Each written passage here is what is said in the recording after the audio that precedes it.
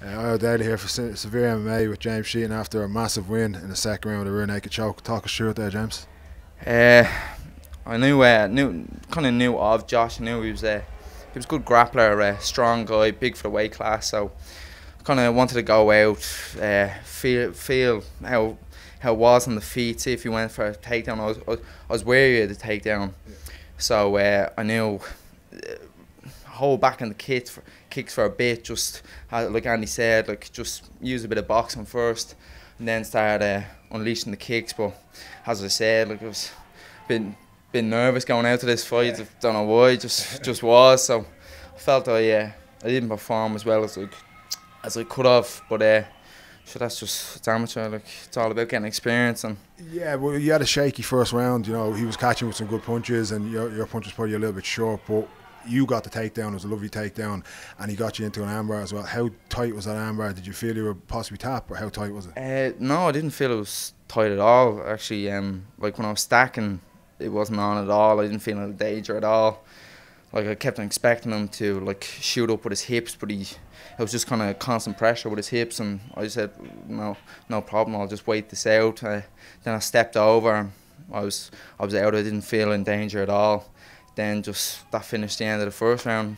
Second round, I kind of just said, need to start waking up now and uh, start doing my game rather than worrying so much about his. So yeah. that's what I kind of did. I think when you went into the second round, then you started to get the punches started to flow a little bit better. Yeah. Um, and then you got another great takedown, and once you got to the ground, then you were like uh, like a knife through butter. yeah, yeah. I think yeah.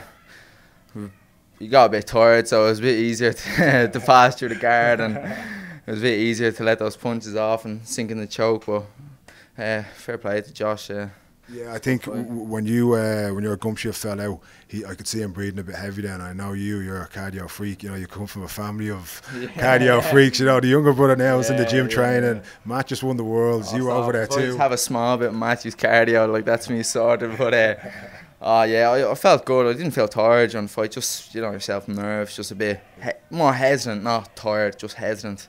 So uh, I'll work on that, working on the the mental side of it for the next.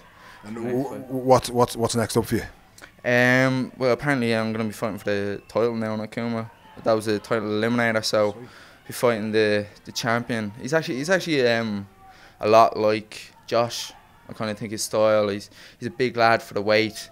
Uh, he's good on the ground, so I think I'll uh, go into that and do well in that fight. Yeah, perfect. And you, did he give you a time scale to when that might be? Uh, no, no, they actually didn't. Uh, whenever it is, like probably I'll say it'll be next year anyway. So you're ready training. I'm ready. Like training team was just brilliant. Like when I moved there, it's just it's just brilliant. Like the coaches, training partners, everything, the, the intensity of it. It's it just gets you prepared for a fight. Like. That's all I can say. Congratulations, great win again. Can't Cheers, wait to see you back in there, James. Cheers. Cheers.